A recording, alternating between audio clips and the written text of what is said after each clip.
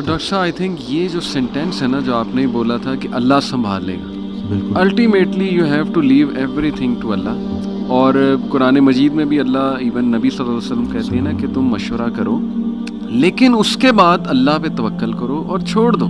अल्लाह ताला उसको संभाल लेगा। आई थिंक जब हमें ये बिलीफ हो गया ना कि कायनात का निज़ाम चलाने वाला अल्लाह लोगों के दिलों का कंट्रोल अल्लाह की दो उंगलियों के दरमियान है हदीस में आता है।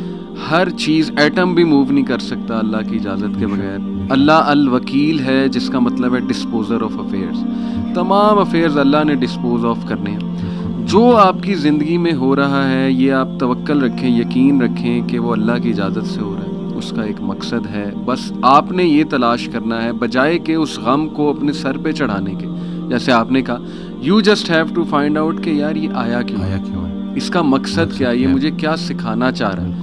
और सजदे में जाके बंदा रो पड़े अल्लाह के आगे, अल्लाह से तकवीत मांगे, अल्लाह से कहे कि अल्लाह मुझे पर्सपेक्टिव दे। बल्कि मैं एक कोट पढ़ रहा था even though he is a non Muslim writer है बहुत बड़ा, मेरे जहन से अभी खैर नाम निकल गया। उन्होंने बड़ी कमाल की बात की। उन्होंने कहा ओ my lord make me brave and uh, मुझे ऐसी सकत दे कि मैं अपने गम से वो रीज़न ढूंढ सकूँ कि ये आया क्यों है। सुबह यानी even though is a non मुस्लिम लेकिन ये कि इतनी उसमें अकल है कि वो ये दुआ कर रहा है। तो यही बात है कि विजडम फाइंड आउट करो कि ये क्यों आया है।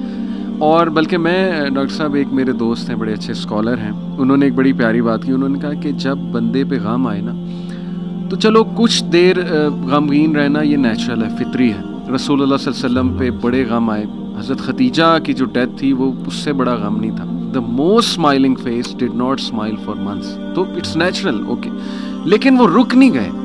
ऐसा नहीं था कि वो आइसोलेशन में चले गए, या ऐसा नहीं था कि सारे काम ठप हो गए, क्योंकि मेरे दोस्त ने कहा कि देखो, जब हम ठप हो जाते हैं ना, ये पैसिव शिकवा है। अल्लाह से। इतनी तो हिम्मत नहीं, ज़बानी रब से शिकायत करें, लेकिन ये कि हम ठप होके दिखाते हैं कि जी, बस मैं तो राज़ी नहीं। आपकी रजा में। इनडायरेक्टली तो हम यही कह रहे उन्होंने कहा, जो लोग गम में खड़े हो जाते हैं ना, उनका दिल नहीं कर रहा सुबह उठने का, बिस्तर पे पड़े रहते हैं। आई एम श्योर आप भी ऐसी कंडीशन से गुजरे हैं कि उठने का दिल ही नहीं करता।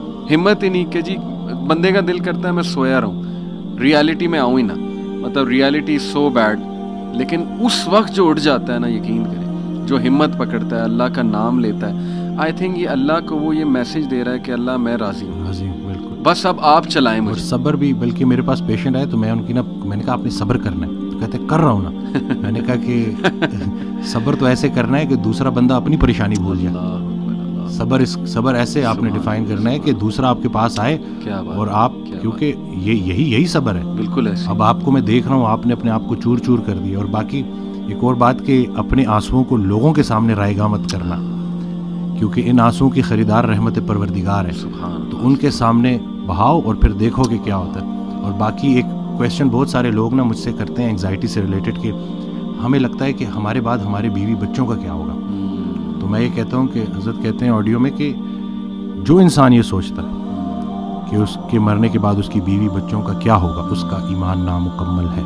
उसने पालने वाले की पालने वाली सिफ्त पे ईमान ही नहीं लाया। जिनके लिए पूरी कायनात बनाई उनको यतीमी और गरीबी से गुजारा।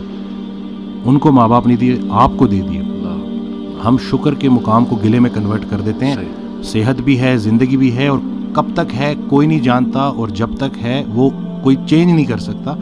तो फिर अभी क्यों परेशानी लेते हैं? क्या इन बच्चों को हम पाल रहे हैं? सही बात। क्या हम खुद को पाल रहे हैं? क्या हम इस काबिल हैं? बेशक। कद पे हद का पहरा सेहत पे बीमारी का पहरा और इतने पहरों में पैदा किया हुआ इंसान चाहता क्या है? आज़ादी। तो ये करके देख ले। सही बात। डॉक्टर साहब जस्ट टू वाइंड अप क्योंकि हमारा यूथ के रिलेटेड काम है तो आपने कल मेरी आपसे बात हो रही थी आपने एक बड़ी आई ओपनिंग बात की।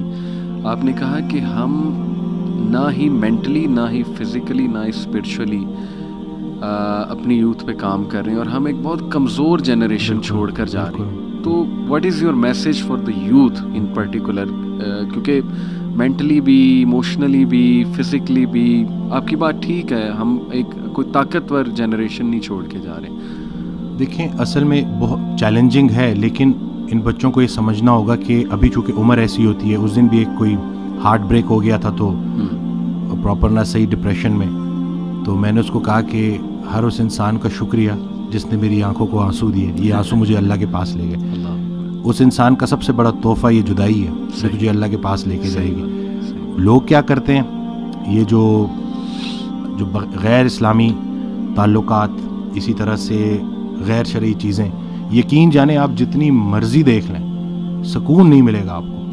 और यही जो आपकी ग्रोइंग एज है ना इसमें आपके हार्मोन्स भी ऑन पॉइंट बेहतरीन है। हम्म। इन्हीं इसी इसी उम्र में आपने स्पोर्ट्स में इंडल्ज होना है आपने प्रॉपर तरीके से डाइट का ख्याल रखना है और सबसे बढ़कर यही लर्निंग एज है इसमें आपने सीखना है और जैसे जैसे आप आप एक कदम बढ़ाएँगे अल्लाह कई गुना ज़्यादा आपके करीब आता जाएगा। और ये ट्राइड एंड टेस्टेड चीज़ें मुझे ये बचपन में सिखाया गया था कि सिर्फ़ शोहरत दौलत और यही चीज़ें होंगी तो बस यही सब कुछ है क्योंकि हम इधर उधर यही देख रहे थे। लेकिन सब कुछ होते हुए भी इंतहाई बड़ा खला था जो पूरा नहीं हो रहा था। तो हम तो चलें वो कहते हैं अगर सीधी तरीके से अल्लाह के रास्ते पे नहीं आते तो अल्लाह घुमा के लेके आए हाँ, जी हाँ। तो हमें तो बहुत सी चीज़ों से गुजर। आप नहीं गुजरेंगे इन इन चीज़ों से।